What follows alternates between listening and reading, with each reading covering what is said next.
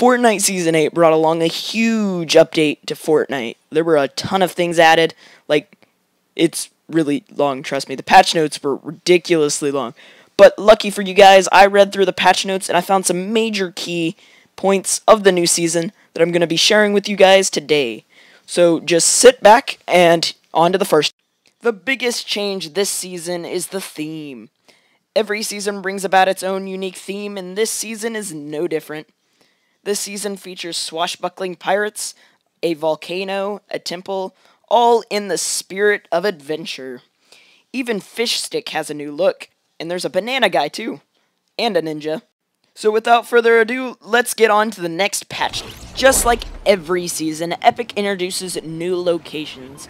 With this season, Epic introduced a volcano, a place called Sunny Steps, and a lazy lagoon. First off, we're going to be looking at the volcano. Volcano is not a named location, but it has a huge point of interest, which is the volcano vent. The place where lava erupts, like the top of the volcano, you are able to jump in, and you have an effect where you can open your glider. You can use this to your advantage to sneak up on your enemies, or you can use it to even get closer to the circle. Next up on our list, we have Sunny This place has temples and all kinds of hidden places for chests. This is a really good place for materials as well, considering there are a ton of trees by it, and these temples have tons and tons of brick. Next up on the list is Lazy Lagoon. This place is a huge place. It brings lots of attention to itself with its big pirate ship and town. It also has the spawn of cannons. This is one of the only places that we currently know about that can spawn cannons. The last change for the map that we have on this list is the Spawn Island. Epic has never changed the Spawn Island except in Season 8. Now it's like a tropical island. Next up on the list, we'll be looking at the Battle Pass for Season 8. Every season brings along a Battle Pass with skins that you can level up and unlock. And this season brought some pretty, pretty cool skins. When you unlock the Battle Pass, you get two skins added to your locker, Blackheart and Hybrid. Blackheart's a pirate and Hybrid's like a ninja dude. Both these guys can be leveled up through XP and daily challenges. Next up, we have the Sidewinder skin. You get the skin once you reach level 23 of the Battle Pass. She is basically a female pirate skin. Personally, my favorite, Peely. You unlock the skin at level 47 of the Battle Pass.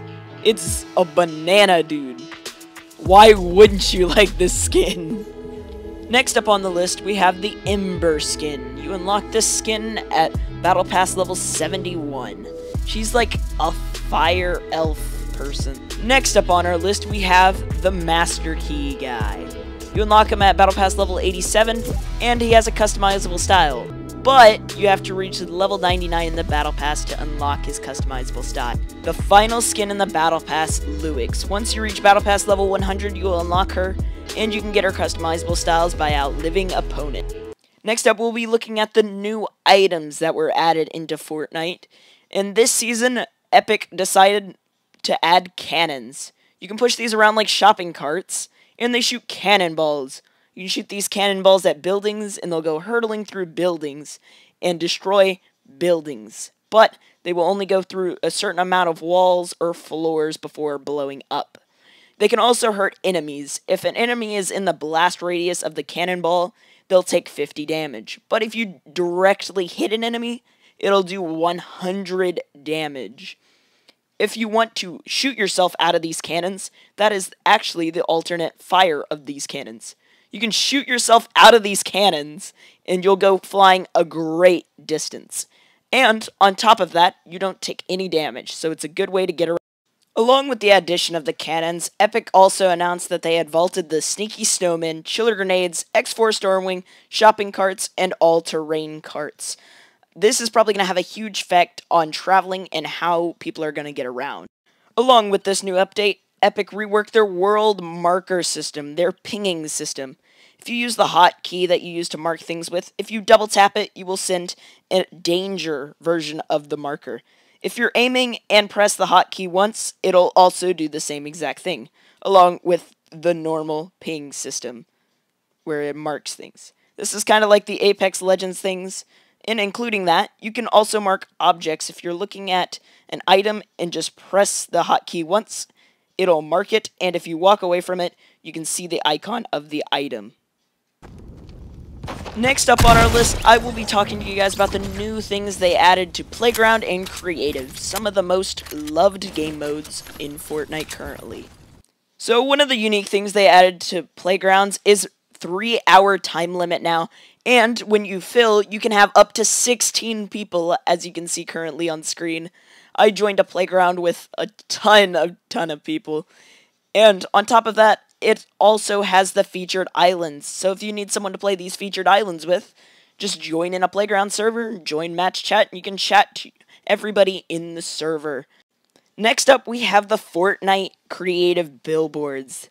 They added the billboards into the game at the start of Season 8, and you can write your messages on these and change the color of the text, the size, so you can put these in your worlds and give everybody in your worlds just a little message. Maybe it may be rules, maybe it just be for fun. So yeah. Next up on our list, you can change the channels in creative now. You can set it to team, all, or none, none making it where you can't talk to anybody in game, all you can talk to everybody, and team where you can only talk to your teammates. This is a really cool feature. That's all I have to say. If you guys think there's anything that I missed or you think there's something that should have been included, comment it down below.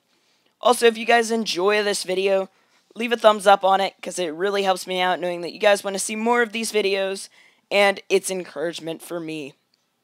And if you're not subscribed already, subscribe for more content like this. And as always, thanks for watching.